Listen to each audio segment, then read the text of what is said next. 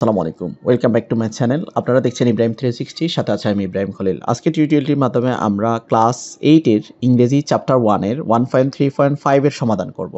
চলুন কীভাবে করব বিস্তারিত ব্যাপারটা আমরা দেখে নিই। তো এখানে ইনস্ট্রাকশন দেওয়া আছে, আমরা দেখতে পাচ্ছি।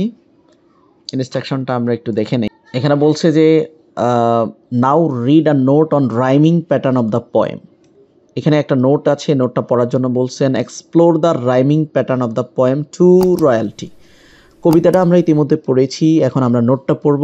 পড়ে এখানে আমাদের বলছে রাইমিং প্যাটার্নটা বোঝার জন্য। কারণ মূলত আমরা যাতে এই কবিতাটা পড়ে, কবিতার প্যাটার্ন সম্পর্কে রাইমিং ওয়ার্ড সম্পর্কে আমরা জানতে পারি। যাই হোক, তো যেহেতু আমরা একদম সংক্ষেপে পড়ব যে you have already learn rhyming is one of the notable features of the poem আমরা নিশ্চয় জানি যে রাইমিং সম্পর্কে এর আগেও আমরা কথা বলেছি। রাইমিংটা কি আমি বলেছি? রাইমিংটা মূলত হচ্ছে একটা ছন্দময় ব্যাপার। অনেক বেশি যাব না। যেমন এখানে গোল্ড আছে, এখানে ফোল্ড আছে। দুইটা সাউন্ড দুইটার সাউন্ডে কিন্তু কাছাকাছি। গোল্ড ফোল্ড এবং শেষ এলডি বা ওএলডি এবং শেষে আছে ওএলডি তো এটা, এই যে ওল্ড এবং ফোল্ডের ওল্ড এই দুইটা কিন্তু একটা রাইমিং ওয়ার্ড এখানে আবার আছে যে আই আর ই এখানে আছে আই আর ই তো এটা হচ্ছে রাইমিং ওয়ার্ড যার কারণে এই গোলটাকে এ ধরা হয়েছে এবং এখানে ফোলটাকে এ ধরা হয়েছে। আবার ডিজায়ারের আইয়ারের ছন্দ মিল থাকার কারণে এটাকে বি ধরা হয়েছে এ ফায়ার এটাকে বি ধরা হয়েছে। কিন্তু আমাদের মূলত এই চারটা লাইনে এটাকে এ ধরার কথা, এটাকে বি ধরার কথা, এটাকে ছি ধরার কথা, এটাকে ছি সি ধরার কথা।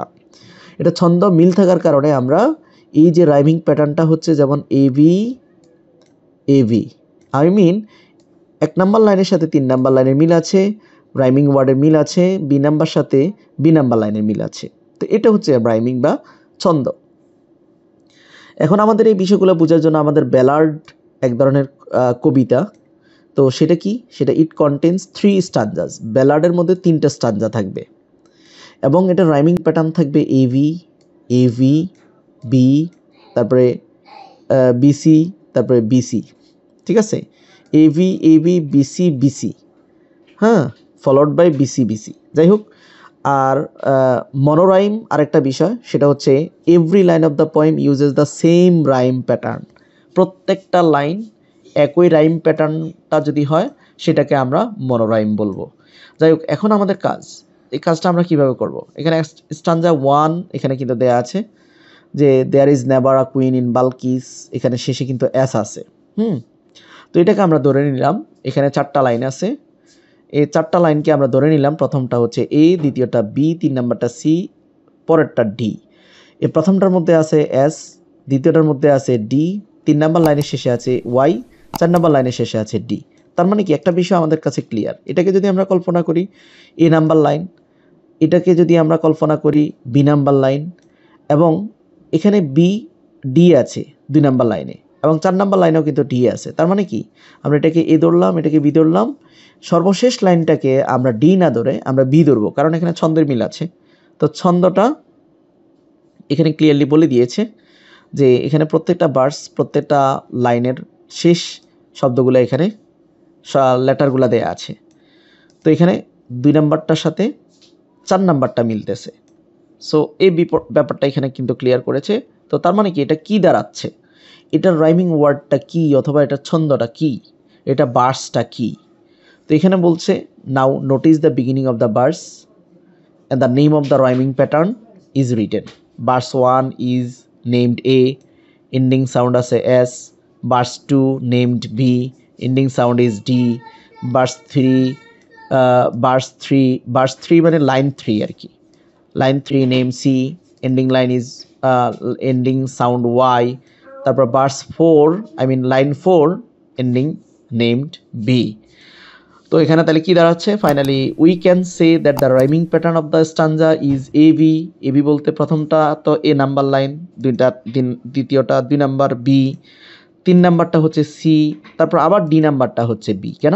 বি নাম্বার দুই নাম্বার এবং চার নাম্বারের সাথে মিল আছে এই জন্য A B C B okay এই পর্যায়ে আমরা স্টানজা টু এবং থ্রির সলিউশনটা করতে হবে। তো এখানে আমরা দেখতে পাচ্ছি there was never a king like Solomon এই সর্বশেষ এটাকে আমরা ধরে নিলাম।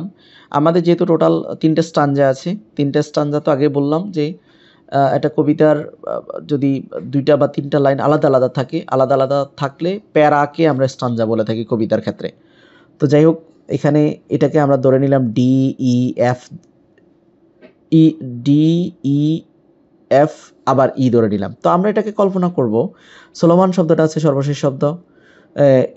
এরপরে আছে বিজ্ঞান, তারপর আছে বাটারফ্লাই, তারপর হচ্ছে ম্যান। তাহলে এখানে সোলোমান যদি আমরা এ ধরি, বিজ্ঞানটা যদি আমরা বি ধরি, বাটারফ্লাইটাকে যদি আমরা সি ধরি, ম্যানটাকে যদি আমরা ডি ধরার কথা, ডি না ধরে আমরা যদি বি ধরি, কেন? এখানে এ এন আছে, এখানেও এ এন আছে।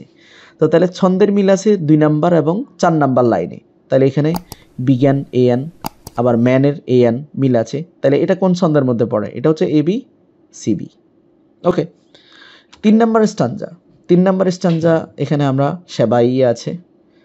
এটাকে যদি আমরা কল্পনা এই করি মানে এখানে জি এইচ আই এইচ আছে। এটা আমরা ধরছি না। আমরা এটাকে এ ধরছি, দুই নাম্বার লাইনটাকে বি ধরছি, তিন নাম্বার লাইনটাকে সি ধরছি, চার নাম্বার লাইনটাকে আমরা বি ধরছি। কেন বি ধরছি? কারণ এখানে সেবাই লাইনটা আলাদা, বাটারফ্লাই শব্দটা আলাদা। সেবাই শব্দটা আলাদা বাটারফ্লাই শব্দটা আলাদা। ছন্দের মিল নেই। কিন্তু লর্ড এবং অ্যাব্রোডের সাথে কিন্তু ছন্দের মিল আছে। সো লর্ডের এখানে শেষে ডি আছে লর্ড ডি আবার অ্যাব্রোডের ডি আছে। সো তো এটা কি দাঁড়াচ্ছে? এক নম্বর লাইনটা ভিন্ন সো এ দুই নম্বর লাইনটা ভি তিন নম্বর লাইনটা আলাদা। কারণ কোনটার সাথে মিলছে না সি আবার চার নম্বর লাইনটা বি নাম্বার লাইনের সাথে মিলে। তাহলে সো আমরা এটাকে ডি না দিয়ে আমরা বি দিতে পারছি। তাহলে রাইমিং স্টানজার ছন্দটা কি? A B C B so এই হচ্ছে ব্যাপার। এভাবে আমাদেরকে আইডেন্টিফাই করতে হবে। তো পরবর্তী অ্যাক্টিভিটিস থাকছে আমাদের। পরবর্তী ভিডিওতে আমাদের অ্যাক্টিভিটিস থাকছে one point three point six আশা করি ওটার সমাধানের জন্য আপনারা প্রত্যাশা করবেন। সমাধানটা পাওয়ার জন্য ভিডিও আমার চ্যানেলে সাবস্ক্রাইব করে বেল আইকনটি অন করে দিবেন। ঠিক আছে? আজকে এই পর্যন্ত। ভালো থাকবেন সবাই। আসসালামু আলাইকুম।